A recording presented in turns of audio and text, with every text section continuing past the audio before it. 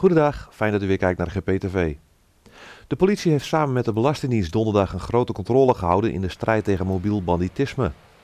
Al het verkeer over de Afsluitdijk werd in Noord-Holland en in Friesland bij Zurich gecontroleerd. Er werden soortgelijke controles gehouden tussen Lelystad en Enkhuizen en in Groningen.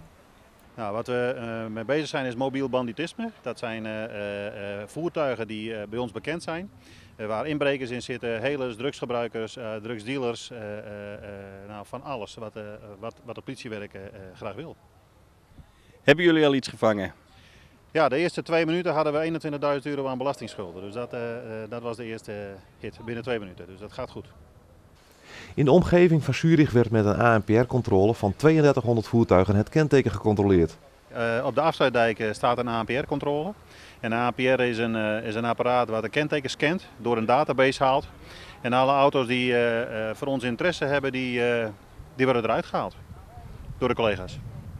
De Belastingdienst speurde mensen met belastingsschulden op.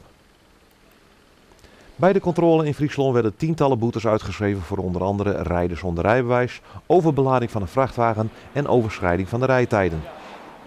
Zeven bestuurders hadden nog boetes openstaan. Na betaling hiervan mochten ze weer verder rijden. De Belastingdienst zette bij Zurich vijf auto's aan de kant waarvan de bestuurders belastingsschulden hadden openstaan. Deze auto's werden in beslag genomen.